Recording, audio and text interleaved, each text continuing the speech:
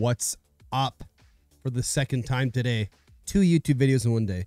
What a fucking legend. Just kidding. But uh yeah, here we go. Let's get into it. NVIDIA DLSS. Okay, everyone's saying it's blurry, which it is blurry. I don't know why. That doesn't make sense, but it's it's a huge FPS boost. And I've noticed a huge increase in regular Warzone. And I'm not sure if it's because the map changed, there's less trees. It seems like less stuff you have to render. But here's my insight on it, and here's how to get rid of the blurriness. At least to a, a point where you can actually use it and make it viable. Oh man, like I just I love Red Bull lately. I just can't get enough of them. Oh god, it just feels it feels it feels the body. It just you're you're on high alert, you know? Okay, anyways, it's enough. Let's go. Uh so first of all, let's go down to here. This only works for computer, by the way.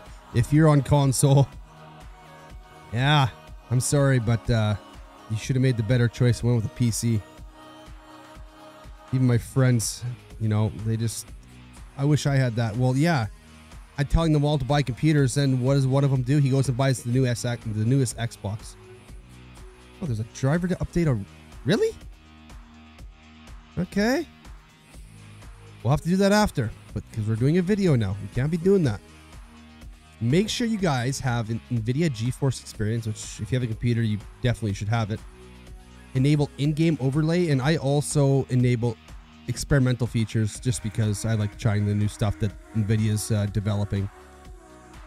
Anyways, enable that, close it, go back into, well, you actually have to, sorry, you have to open up NVIDIA GeForce Experience first before loading up Warzone or it won't work. It won't load it with the game.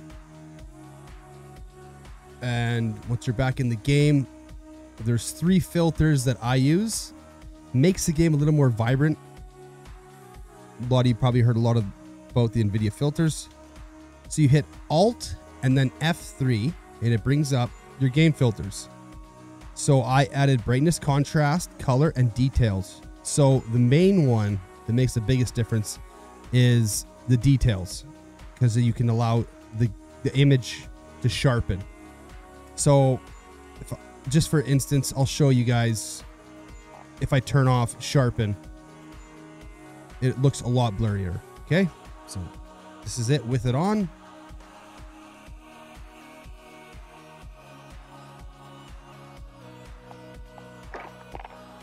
And that's with it off. See how it's got like a fuzzy effect around it?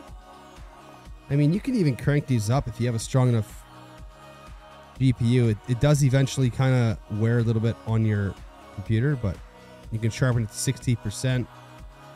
HDR toning also makes a difference too. I like a little HDR toning. 25 is probably enough though. Clarity, color, tint. You can add tint. Like you can completely change the whole color scheme of the game. These filters are uh, one of my favorite things NVIDIA's definitely done.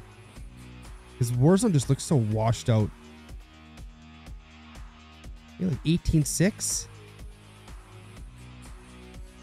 Those are not too much. There. Yeah, no, let's do that at zero. Shadows, this is the nice thing about it.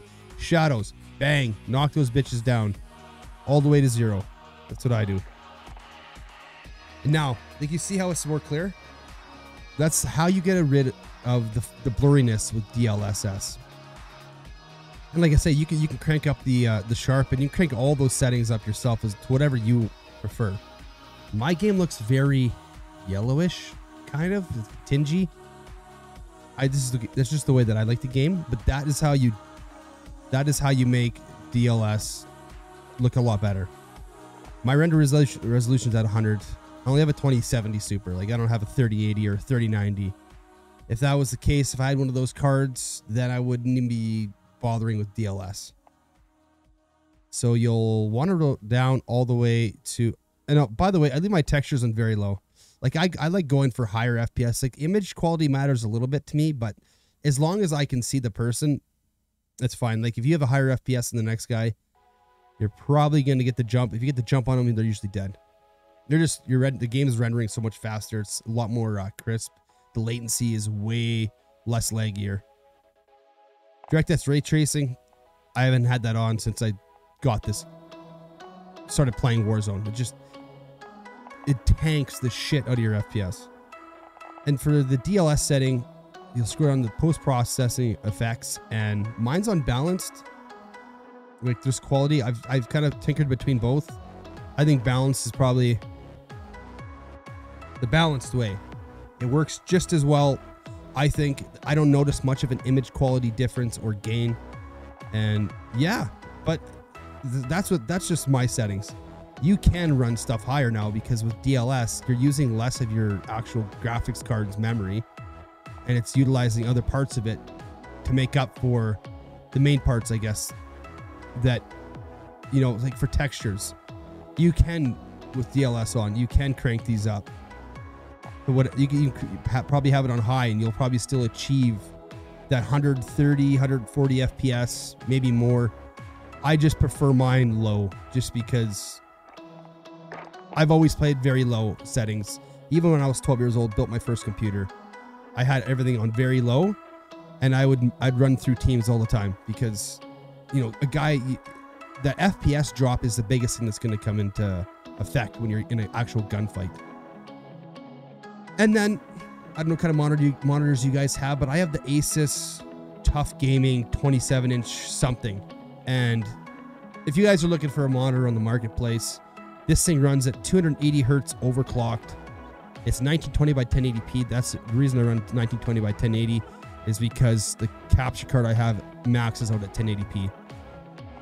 But yeah, so look right here, like screen refresh rate 280 hertz. You'll notice a massive difference. And then I also bought the newest Razer mouse, the Viper 8K hertz. This thing is freaking amazing, man. I was just blown away by how fast the click, like the, the polling rate and everything. This mouse is insane. Like, I would get in the game and play, but if you want to watch the gameplay, you can just come to my stream sometime. I changed from this mouse to my other one, and I noticed a huge like increase. Like when I would ADS and stuff, and like try to scroll through weapons, like it's way faster. It's like this is the fastest. This is the only mouse with 8,000 polling rate on the market. So if you're in the market looking for a mouse or a monitor, those are the two I recommend. And uh, thank you guys for watching the video. If this helped you, take this with a take a friend in this or something. You know, let them know. Like DLSS is definitely good. Don't let people say that it's shitty, it's blurry, it sucks. There's no way around it. Add those filters. You can even tinker around in your NVIDIA control panel settings for a little more uh, clarity if you'd like. But that'll be the end of the video, and we'll see you guys in the next one. Thank you very much. It's been a while since I've been putting out YouTube content. I've been busy. My job and working mad hours. I worked like almost 24 hours two days ago now in one day. So life's busy, but uh, I'm always happy to put out some content for you guys to just the things that matter, I think, that people are wondering about. So you guys take care. We'll see you guys next time. If you like the video, like the video. Comment down below if you guys need help with anything. See you guys next time. Oh yeah, you check out this new fridge I got. Oh, my god, it's so awesome. It's so cool.